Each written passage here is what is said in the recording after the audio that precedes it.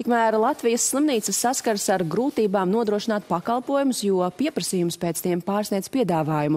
Vispirms eh, piešķirtais finansējums nav pietiekams, kā arī bažas ir par speciālistu trūkumu. Tieši ārstu trūkums daudz vieta neļauj piedāvāt pakalpojumu, pat ja vēl pieejama valsts finansējuma kvota. Kāda ir situācija reģionālajās slimnīcās un kādas šogad būs iespējas nodrošināt vajadzīgos veselības aprūpas pakalpojumus? To tūdaļ pārunāsim ar slimnīcu biedrības vadītāju Ievgeņiju Kalēju. Labrīt! Labrīt! Labrīt! Gribas iesākt ar jautājumu, vai šajā problēmā ir kaut kas jauns, jo mēs šķiet ar jums ne pirmo gadu, sevišķi uz gadu otru pusi runājam par to, ka nu šogad viss tā kā laikam ir beidzies, uz nākamo gadu ir cerības, cerības nevienmēr piepildās, citreiz mēs pat vēl agrāk runājam, jau kaut konkrētajā gadā, laikam tas bija par laboratoriskajiem izmeklējumiem, par laboratoriju analīzēm, ka nav vairs naudas. Tas ir cikliski, neizbēgami, tradicionāli. Nu, patreizējā brīdī, ja mēs atskatāmies uz iepriekšējiem periodiem, tas ir jau kādus 15 gadus. Atšķirības starp iepriekšējiem gadiem varbūt ir tā, ka uh, tiek mainīti finansēšanas noteikumi gada vidū un tik liels parāds, valsts parāds saviem pacientiem, kurus mēs esam ārstējuši, un valsts par viņiem nav samaksājusi, nu, tas ir laikam vislielākais. Jo pirmajā pusgadā neatliekamās palīdzības finansējums netika samaksāts aptuveni ap 20 miljoniem eh, eiro, kur mēs esam snieguši palīdzību saviem pacientiem, neatliekamo palīdzību, bet valsts par viņiem nav norēķinājusies. Novembra vidū mēs esam plānojuši tikties ar Nacionālo veselības dienestu. Mēs uzzināsim, kādi ir dati par deviņiem mēnešiem, bet viņi noteikti būs lielāki. Un tas pats attiecās uz, uz pakalpojumiem, uz ambulatoriem. Tur šis parāds ir sasniedzis pusgadā 10 miljoni, un mums pateica, ka šos līdzekļus mēs neatgūsim no valsts. Valsts par tiem nesamaksās. Tas nozīmē, ka Ar kādu ir... skaidrojumu, kāpēc neatgūsiet? Tāpēc, kad valsts pasaka, ka uh, mums ir jāplāno pakalpojumi nevis tik, cik ir slimi pacienti, bet tik, cik ir naudas pacienta ārstēšanai. Tas nozīmē, mums ir jāpieturās pie kvotām. Tagad slimnīcas, protams, to, to mēģina darīt, bet ko tas nozīmē?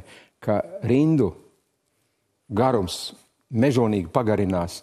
Un ko tas nozīmē? Ka nākošajā gadā, faktiski gada sākumā, mēs ārstēsim šī gada pacientus, un nākošā gada pacientus, kuriem ir plānots kaut kādi medicīniskie e, pakalpojumi, mēs ārstēsim vai nu gada beigās, vai aiznākošajā gadā. Līdz ar to e, kopējā valsts veselība, iedzīvotāja veselība noteikti pasliktinās. Un runājot par tām kroniskajām kaitēm, kas var sāsināties laikus neārstējot, tur jā, nu, vēl tas par klāt, to ir runa, jā, un ja viņus laikus neārstē, viņi nonāk neatliekamajā palīdzībā kura mums ir jāsniedz neatkarīgi no tā, vai par to finansē, bet arī to, ka finansējums neatliekamai palīdzībai tiek ierobežots gada vidū. Mēs esam se septembrī saņēmuši NVD vēstuli, kur ļoti būtiski neatliekamās palīdzības pakalpojumi tiek ierobežoti. Piemēram, trombolīs, tas ir nozīmē pacientam, nu, piemēram, ja viņam ir lausta kāja, viņu kāju izoperē, bet, bet uh, izveidojas trombs galvā. Un, ja mēs esam pārsnieguši šos ārstēšanas kvotas, trombolīzes kvotas, mēs viņu nevaram ārstēt par valsts naudu. Tas nozīmē, ka pacientam pašam ir jāmaksā vai kādam no piederīgajiem. Bet, ja pacientam ir insults, nu, tad viņš ne, nevar pateikt, vai viņš par to maksās vai nemaksās. Tā kā... Tas saknē izklausās kaut kā totāli neloģiski. Es, man tagad ir grūti saprast, es domāju, ka jums ir tikpat grūti to saprast, un tāpat kā ļoti daudziem, jo sevišķi pacientiem, kas ar to diendienā saskaras, nu, ka nu, viss man nu, neapmaksā to manu izmeklējumu vai diagnozi, piemēram, ir kaut kāda, nezinu, jums redzama nu, sarunas forma, kā šo novest līdz uh, vajadzīgajām ausīm, līdz vajadzīgiem darbiem, vai tas ir tāds nu, mēs nu, mēģinājuši kaut kāds? Es tagad nesaprotu. Visus ceļus, kādi ir iespējami, mēs esam griezušies veselības ministrijām, mēs esam rakstījuši vēstules Nacionālām veselības dienestam, mēs esam vērsušies pie ministru prezidents, nu, neesam pie prezidenta vērsušies. Saimas komisijās, šodien ir tieši saimas komisijas sēde.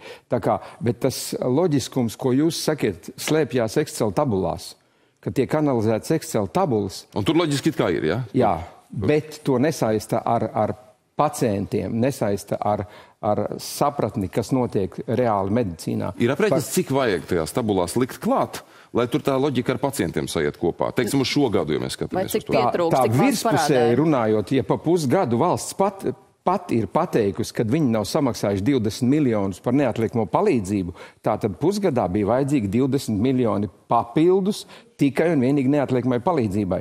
Bet tas radies kāpēc? Tāpēc, kad NVD nepareizi vai neloģiski aprēķināja pacientu, iespējamo pacientu apjomu. Bet vai šos 20 miljonus tad uh, atgūsiet? Nu, patreizējā brīdī tiekoties ar veselības ministru, mums ir informācija, ka ir iespējams atgūt varbūt trešo daļu no tā.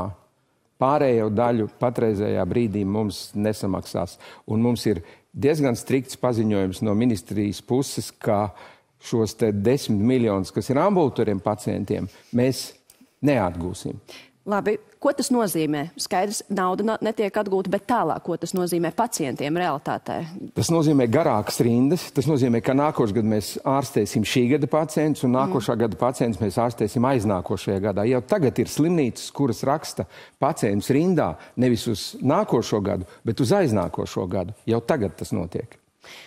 Ir arī kādas atšķirības dažādos Latvijas reģionos, kā jūs raksturotu, kur tā situācija ir uh, sāsinātāka? Vis- Vissāsinātākā situācija ir tām slimnīcām, kuras sniedz lielāko neatliekamās palīdzības daļu. Ja, tās ir reģionālās slimnīcas, un, ja mēs, piemēram, domājam par Rīgu, tad tās ir abas universitātes slimnīcas, gan Stradiņa, gan Rakus, kuriem ir ļoti liels neatliekamās palīdzības apjoms.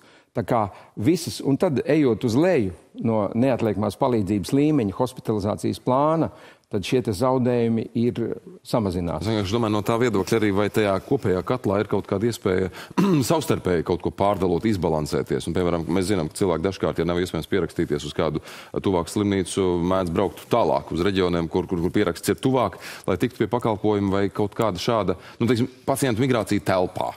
Kaut ko var palīdzēt atrisināt ar rindu garumu un pakalpojumu pieejamību. Teorētiski šāda iespēja pastāv. Mēs par to esam runājuši ļoti daudz ar, gan ar, ar Veselības ministriju, gan ar NVD.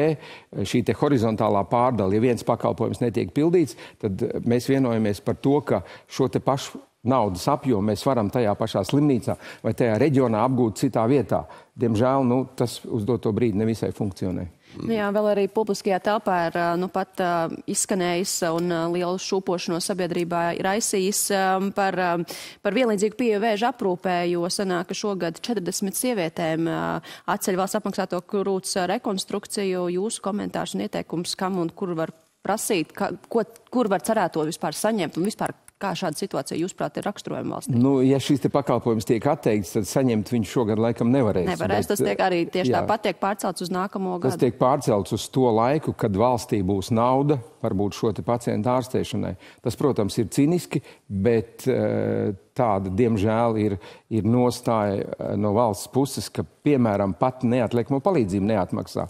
Šādu krūts rekonstrukcijas operāciju vēl var atlikt. Pacients ir dzīvs, viņš ir vesels, bet neatliekamo palīdzību pacientam ar insultu vai ar laustu kāju vai kādu nopietnām vainām viņu nevar atlikt. Un tur Viņa- tie 20 miljoni nav. Jau tur ir tie divi, bet tas ir pusgadā. pusgadā. Tas nozīmē, ka man nu, tas grūti, tas, protams, iznāk zīmēt ar pirkstu debesīs, bet uh, reiķinot uz tiem deviņiem mēnešiem, tad tur varētu būt pat Būtu vēl desmit miljoni klāt. nu, ap desmit. Ap Jā, un mēs par šo te jautājumu tiksimies novembrī. Vismaz tā mēs esam vienojušies iepriekšējā sēdē ar Nacionālo veselības dienestu, ka mēs vienojamies tikties novembra vidū par deviņu mēnešu rezultātiem. Vai šobrīd kaut kādu jau jūs esat guvuši, nezinu, apstiprinājumu mutisku, rakstisku no veselības ministra, ka šo jautājumu risinās? Un, nu, kā to vispār tad var saprast, ņemot vērā, ka gan veselības ministrs, gan finanšu ministrs pārstāv vienu premjeru partiju arī, un šis jautājums absolūti uh, Jā, nedēļa iepriekš mēs tikāmies tieši trīspusējā padomē, kurā pārstāvēts ir trīs puses valsts. Eh, Slimnīcu darba devēji un, un eh, arotbiedrība. Mēs tieši šo jautājumu runājām. Tā veselības ministrijas nostāja ir aprēķināt, cik naudas ir nepieciešams. Viņi aprēķināja, ka nākošā gada budžetā ir vajadzīgi papildus 153 miljoni. Diemžēl to visu noraida finanšu ministrs. Un, principā, mēs jau arī to teicām ministrijā, ka veselības aprūpi Latvijā nevada veselības ministrija, to vada finanšu ministrija. Vēl par finansējumu apjomu kontekstā runājot, bieži tiek pieslaukt, piesaukt arī slimnīcu, tā sauktā reforma, reformas, reformas plāns. Kā ar šo notiek virzība? Nu, tas varbūt nav tāds reformu plāns, kad visas slimnīcas kaut kā reformē. Tas nozīmē, ka viņas tiek pārveidotas attiecībā par to, kāds ir finansējums. Ja, ja te finansējums ir piemēram intensīvai terapijai, tad mēs uh, to no, norganizējam attiecīgajā līmenī katrajā slimnīcā.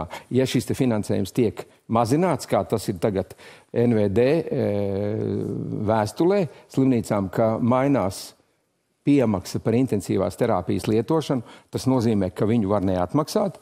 Un tas nozīmē, ja pacientam ir nepieciešama intensīvās terapijas aprūpe un šī kvota ir pārsniegta, tad kādam citam par to ir jāmaksā. Tā ir skaitā pacientam. Mm. Tā ir tāpat tā horizontālā arī iespēja pārdalīt šos nu, pakalpojumus. Tā nav, tā ir nav tieši tas... horizontālā iespēja atņemt. Oh.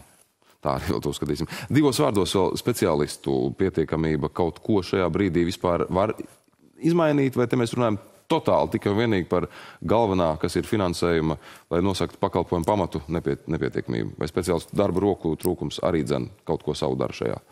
Protams, tāpēc, ka kopējais darba roku trūkums eh, veselības aprūpē ir, ir samērā liels un daudz pakalpojumu, pat maksas pakalpojumu nav pieejami, tāpēc, ka nav arī šo speciālistu tādā apjomā, lai nodrošinātu maksas pakalpojumus, nemaz nerunājot par valsts sniegtajiem pakalpojumiem.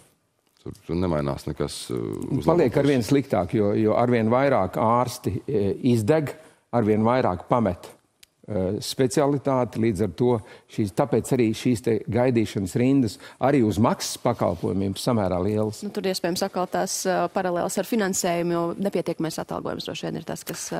Jā, nu tas ir vēl viens jautājums, ko, kas, kas tiek ierobežots no uh, Finanšu ministrijas un no ministru uh, kabineta lēmums, kad atalgojums nedrīkst pārsniegt nākošu gadu vairāk kā 2,6% papildus. Un līdz ar to tas būtiski ierobežo pacientiem saņemt maksas pakalpojumu, jo slimnīca nevarēs viņiem samaksāt. Paldies, ka laikums tik tālu par sarunu. Kā jau dažkārt nebija pārāk gaiši, bet uh, iespējams tieši tāpēc bļaujam un bļausim vēl skaļāk, lai varbūt tomēr tas. Kaut kur atskan un pareizi sāk salikties pa plauktiem. Paldies, ka izstāstījāt. Paldies jums un cerams ar jūsu palīdzību mēs kaut ko panāksim.